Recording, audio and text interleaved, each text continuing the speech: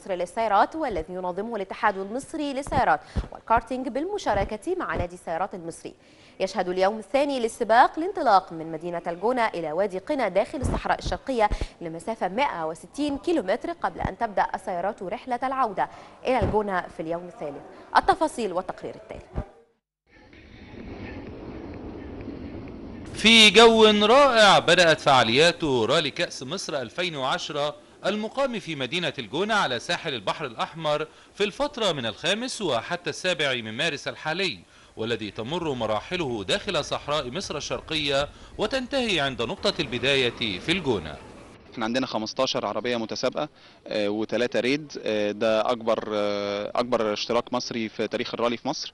والنهاردة كان في ال- السباق الاستعراضي والحمد لله عدى بسلام وتم بخير يعني؟ مع اليوم الأول بدأ المتسابقون جولة استعراضية للسيارات لتحديد المراكز التي سيبدأ منها المتسابقون سباقهم داخل الصحراء.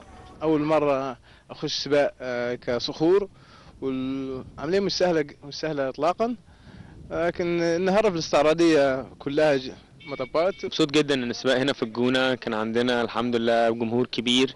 التراك حلو. إحنا متعودين دايما إن كل السباقات بتاعتنا زي كأس مصر اللي فات زي تحدي الصحراء زي رالي الفراعنه عادة بيبقى في الصحراء الغربية. إحنا أول مرة نلاقي نفسنا في الصحراء الشرقية. حاجة جديدة بالنسبة لنا كلنا.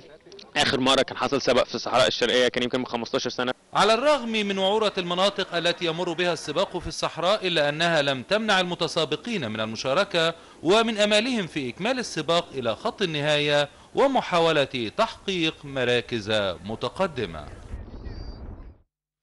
ما زلنا مع عالم السرعة حيث تمكن النرويجي بيتر سولبيرغ من الفوز.